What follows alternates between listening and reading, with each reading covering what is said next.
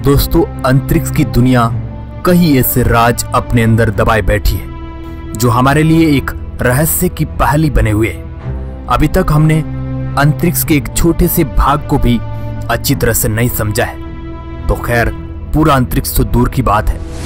दोस्तों, अमेरिकी अंतरिक्ष एजेंसी नासा ने एक ऐसा एस्टेरॉइड यानी उल्का पिंड को खोज निकाला है, जो कि पूरा का पूरा लोहे का बना हुआ है। इस एस्टेरॉइड में इतना अधिक मात्रा में लोहा है कि अगर इसे पृथ्वी पर लाकर बेचा जाए तो पृथ्वी पर रहने वाला हर एक व्यक्ति को करीब एक बिलियन पाउंड यानी कि 9,621 करोड़ रुपए मिल सकते हैं। यहाँ पर करोड़ों रुपए की बात हो रही है। चलता फिरता खजाने से कम नहीं है यह एस्टेरॉइड। तो चलिए दोस्तों आज की इस वीडियो रिपोर्ट में इसके बारे में विस्तार से जानते हैं। हेलो दोस्तों मैं हूँ आपका दोस्त सुरेश सांचोरी। आप देख रहे हैं रहस्य टेलीविज़न यूट्यूब चैनल। दोस्तों, नासा ने इस लोहे के भंडार वाले एस्टेरॉइड का नाम 16 साइकी रखा है। इस शुद्र ग्रह का नाम अप्सरा साइके के नाम पर रखा गया था, जिन्होंने कामदेव से शादी की थी। यह एस्टेरॉइड मंगल और बृहस्पति के बीच में मौजूद एस्टेरॉइड बेल्ट में स्थित है। 16 साइक एक विशाल धातु शुद्र ग्रह है, जो पृथ्वी की तुलना में सूर्य से लगभग तीन गुना दूर है। इसका औसत व्यास लगभग 140 मील, यानी कि 226 किलोमीटर है। पृथ्वी की चंद्रमा के व्यास का लगभग 16 या लॉस एंजलिस और सैन डिएगो के बीच की दूरी के बराबर। चट्टानी या बर्फीले पिंडों वाले अन्य अधिकांश शुद्र ग्रहों से विपरीत। वैज्ञानिकों का मानना है कि एम प्रकार धातु शुद्र ग्रह 16 मानस में ज़्यादातर धातु के लोहे और निकिल शामिल है, जो पृथ्वी के कोर के समान है।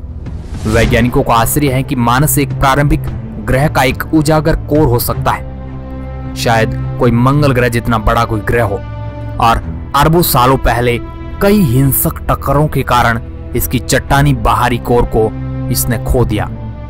पीछे केवल इसकी अंदरूनी कोर बच गई हो, जो कि लोहे की बनी हुई है। मगर यह केवल वैज्ञानिकों का अनुमान है। पृथ्वी पर खगोलविदों ने रडार और अन्य उपकरणों के माध्यम से 16 मानस का अध्ययन किया है। तब वैज्ञानिकों को इस बात का पता चला कि यह एस्टेरॉइड कुछ आलू के आकार के समान दिखता है। इस एस्टेरॉइड को सूरज का एक राउंड काटने में करीब पृथ्वी के पाँच साल लग जाते हैं। लेकिन अपनी धूरी पर एक बार घूमने के लिए केवल चार घंटे से थोड़ा अधिक समय लेता है। इस समय को वहाँ का एक दिन माना जाता है। इस पूरे एस्टेरॉइड पर मौजूद लोहे की कुल कीमत करीब 8000 क्वांट्रिलियन पाउंड है, यानी 8000 के पीछे 15 zero. British magazine the Times के अनुसार 8000 क्वांट्रिलियन पाउंड यानी धरती पर मौजूद हर आदमी को 1 बिलियन पाउंड यानी 9621 करोड़ रुपए मिलेंगे।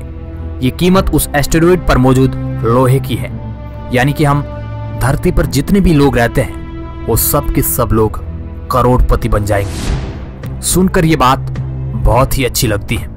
आपको भी ये बात अच्छी लगी है क्या? नासा का कहना है कि इस एस्टेरॉइड को धरती के करीब लाने की कोई योजना नहीं है, लेकिन इस पर जाकर इसके लोहे की जाँच करने की योजना बनाई जा रही है।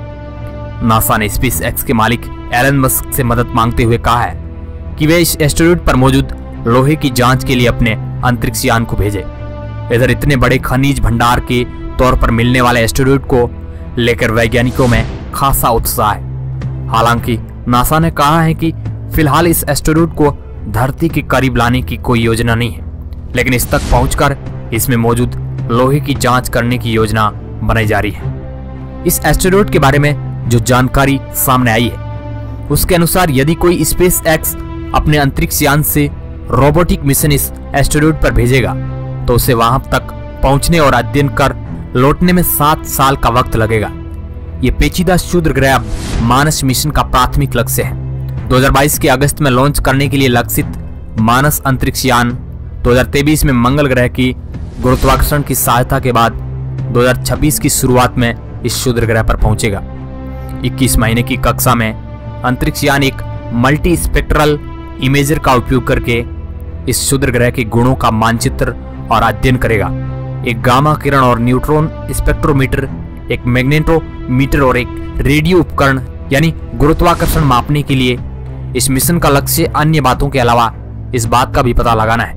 क्या वाकई में यह शूद्र ग्रह किसी बड़े पिंड का मूल है? अब दोस्तों, इसके बारे में आपका क्या सोचना है?